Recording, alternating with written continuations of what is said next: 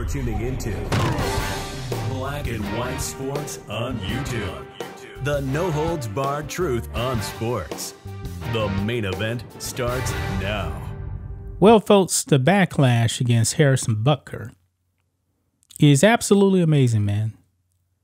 These people want this man canceled, but yet, when NFL players like uh, Rashee Rice actually do criminal activity, they're pretty solid. They're pretty solid, man. There's been personalities over there at ESPN that have been coming down on Harrison Butker.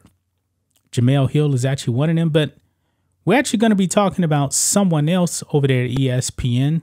Now, I didn't even know this person actually worked for ESPN, but he is a woke activist that's on, um, I believe, Around the Horn. Yeah. This guy actually says that Harrison Butker is keeping his job simply because, wait for it, he's white. Yeah. He actually said that, man. This is idiotic, man. Harrison Butker is a great kicker. Last season, he converted 94% of his kits. Why in the world should the Chiefs actually kick this man off the team? He didn't do anything wrong, man. I mean, in the NFL, not just the NFL, but other sports leagues as well, you can literally beat up a woman and still keep your job. Greg Hardy, anybody? You can actually steal stuff. You can actually do drugs and still keep your job. Harrison Butker spoke Christianity at a Christian school. And now the woke leftists want this man canceled. This guy at ESPN, man, is insane.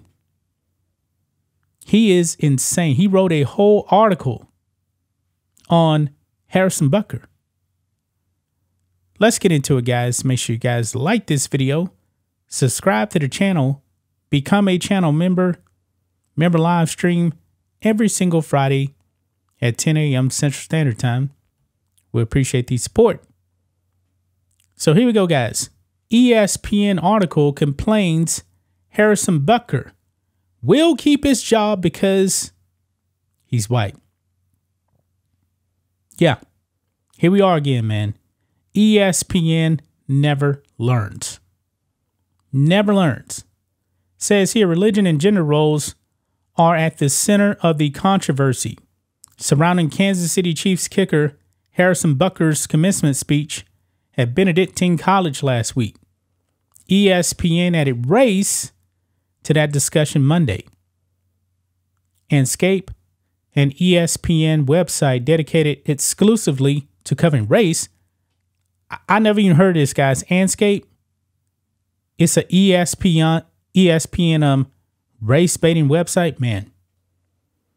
Published an article titled, quote, Why Harrison Butker's commencement speech comments won't negatively impact his career. Wow. The author is the son and namesake of civil rights activist David Dennis. ESPN added Dennis Jr. to Around the Horn a few years ago as part of his push to overcorrect the number of white guys included when his show launched in 2002. Wow. I haven't watched um, Around the Horn in forever. Many, many years. Okay. ESPN deploys Dennis to play the former role of Bomani Jones. Oh, God.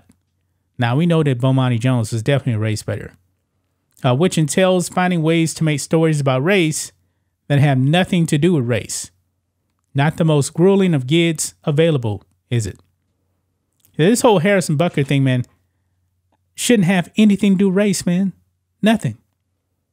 Staying on brand, Dennis bewails in an article how Butker's speech is unlikely to cost the kicker playing time and suggests his race is part of the reason why. Yeah. My goodness. But you got black athletes in the NFL that have not lost their careers, They go out there, they do drugs, they commit crimes, they beat up people, they're caught with uh, different drugs, and they still have their careers. But Harrison Butker speaks biblical truth to Catholics, and this man should lose his job. Yeah, ESPN, man, your priorities are definitely misplaced.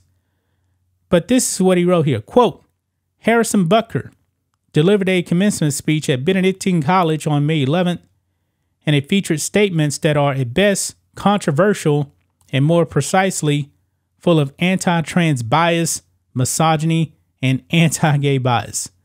Butker's comments have been met with an NFL statement that's tepid in its rebuking.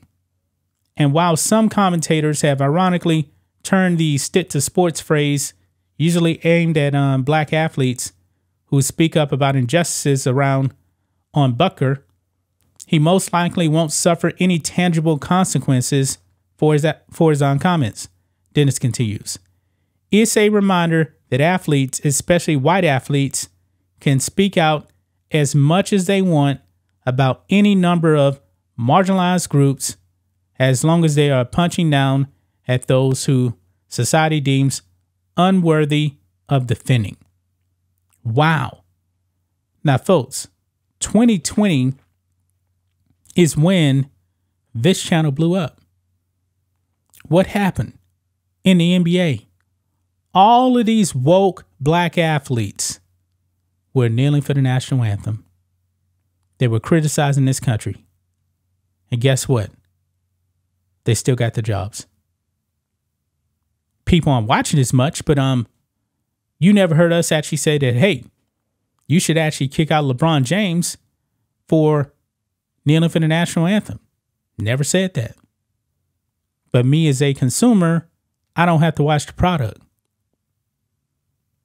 I mean, this is insane, man. These these leftist men want Harrison Butker to lose his career.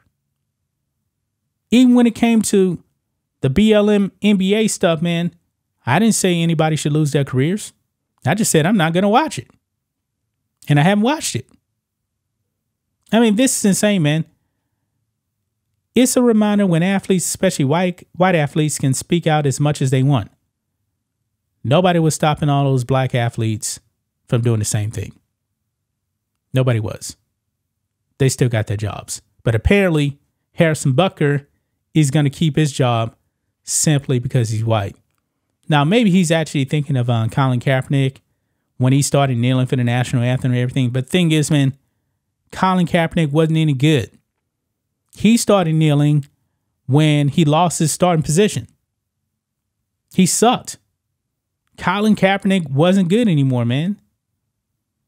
Look at okay, says Dennis claims there's a history of white men in the NFL evading punishment for insulting marginal groups as opposed to the inverse. To what examples does he refer? Unfortunately, he never listed or cited a single one. With newsflash, guys, I'm going to tell you something as a Christian, man. If you actually do read your Bible, the Bible definitely has verses that tell you, hey, homosexuality is a sin. That's what the Bible says. We don't make up the rules, but if you are a Christian, you should actually be believing the Bible is the Word of God. Harrison Butker believes the Bible is the Word of God. I don't think he's actually concerned about you. This uh what what is his name? Dennis um Davis, whatever his name is. See, I already forgot his name, man. That's how irrelevant this guy is.